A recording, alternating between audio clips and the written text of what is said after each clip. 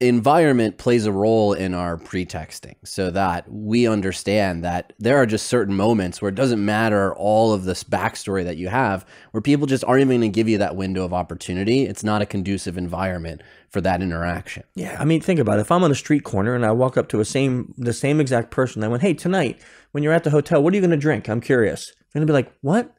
Like, what? Why are you asking me this? And what? What do you mean at the hotel? Like, do you know what hotel I'm at? Like, all of a sudden now they're all just thinking, and you're a creep, right? You're not. You're not a guy who want to have a conversation with.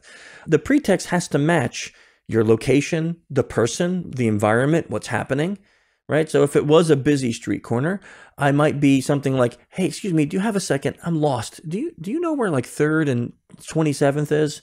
You know, I might do something like that, and now they can say, oh man, I'm too busy. Okay, no problem. Or, yeah, hang on. Where's your phone? I'm like, ah, I keep trying to use the GPS, but the skyscrapers keep stopping it. It's like I'm all over the place, right? You know, and then they help, they stop and they help you. You're like, man, thank you so much. You know, you like, I asked like four people and people are just too busy in this city, but you're, you're really cool. Thank you. Hey, my name's Chris, you know, and now we have a small conversation with somebody. The pretext, that one wouldn't make sense sitting at the bar. The same way the drink one wouldn't make sense on a street corner. So you have to match your pretext with the environment and what's happening around you. Otherwise, like you said before, it just seems too odd and people feel uncomfortable with it. That time constraint, right? It's answering one of those questions that we all have. You know, a second, I can give you a second. Hey, do you have 30 minutes to fill out this survey? How many times have you walked by that person with a clipboard?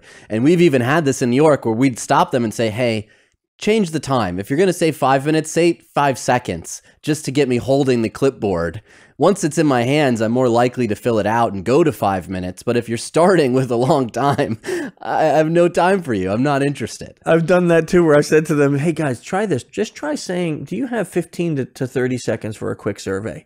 Try that because that's believable. But when you say like, can you, you know, do you have five minutes for a survey? I'm like, I don't have five minutes for you, man. No, I'm out. You know, and I'm and I would say I'm going to walk back here in about 30 minutes. I want you to tell me how that works, right? And I tell them, I give them like a homework assignment. I'll come walking back, and from across the street, they'll be like, "Bro, that's amazing!" And I'm like, "Yeah, there you go. You know, there's your tip for the day."